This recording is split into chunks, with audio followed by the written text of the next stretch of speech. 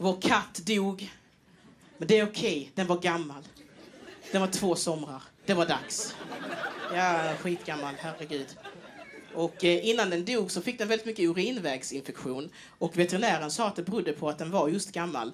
Men jag tror att det berodde på att den inte kissade efter att vi hade haft sex. Ja. Ja, den var väldigt slampig på det sättet. Ja, en katttjej här på första raden skrattar igenkännande. Ja. Du vet hur det är. Ja, för fan. Men jag tänkte jag ska respektera den som man respekterar människor.